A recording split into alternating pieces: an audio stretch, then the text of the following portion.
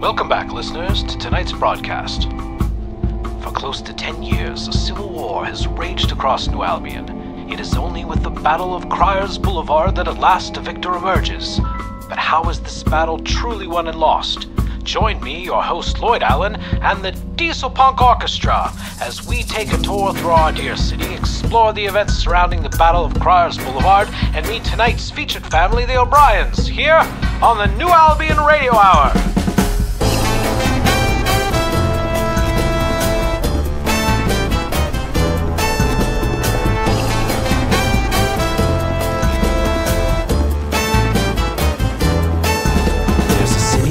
Name, which I'm sad to say became a quite uptight, oppressive, and obsessive police state. An ex soldier one day vowed to bring the martial regime down by igniting revolution, but the question remained how.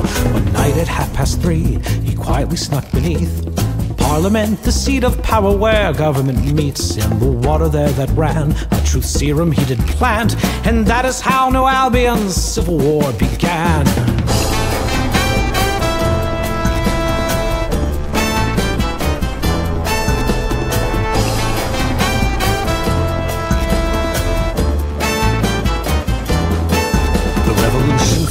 And it's been going on for years. The undertakers and arms dealers all have crystal chandeliers. There's a union now for spies who can be bought for any side.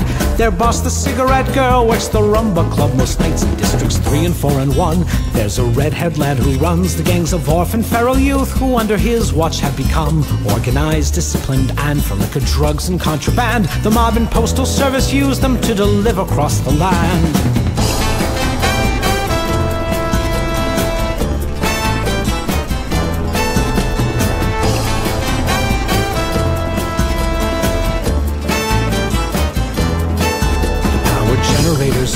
District 7, 8, and 3 excreta dust, a sandy rust. It's been discovered leads to quite a pleasing, dreamy high. Thus, it's the new drug on the rise. But only three albinos living underground know where it lies. A tinker we all know with a shop on Tin Pan Row makes little metal fairies whose souls a flake of snow. The government's last great big hope, the super soldier plan, you know. We'll be looking at more closely, friends, so stay tuned to the show.